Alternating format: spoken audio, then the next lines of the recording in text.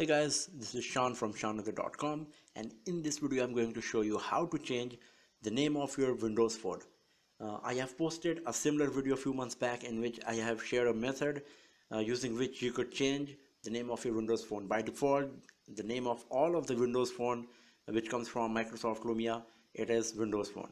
So it's kind of confusing if you're having multiple Windows phone devices. So the previous method was a bit uh, uh, tiresome because you have to connect your Windows phone to your laptop and make changes in the name of your device from there. But with the latest build of Lumia Denim OS, Microsoft has added this feature in the phone itself. So now you can just go to the settings and change the name of your device. But once again, this setting is hidden inside the setting and setting and setting. So uh, you will not come to know about it instantly and this is a new feature. So obviously if you are a new user or if you are using windows phone since a long time still chances are high that you will not be able to see this option available for you because it's inside a few layers of the settings so let me show you how to do this right from your phone. If you are having the latest build of uh, Lumia Denim OS like uh, I'm having right now Microsoft Lumia 640 XL which is having which is the most recent phone coming from Microsoft factory. So what we have to do here is let's go to the settings. You can go to the settings from app list as well. Now just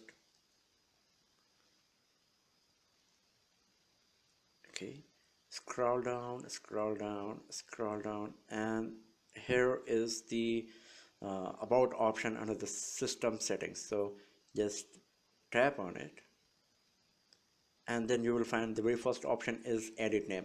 As I have told you already by default the name of the device is Windows Phone.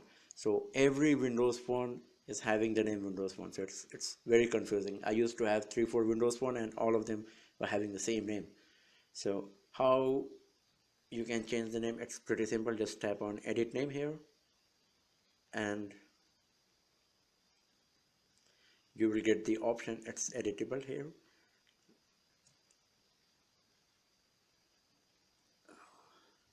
Okay. Mm. so by default the name is windows phone. You can change it as you want. What i'm going to do is let's make it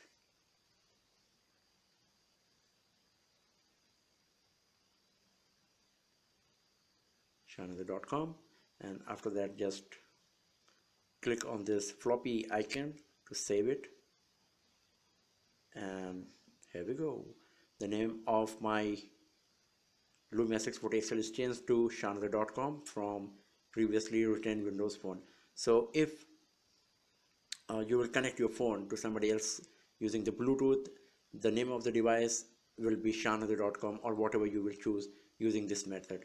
So this is the method to change the name of your Windows Phone so that's all for now friends. Thanks for watching the video and do not forget to subscribe the channel for more videos tips and tricks like this. Have a nice day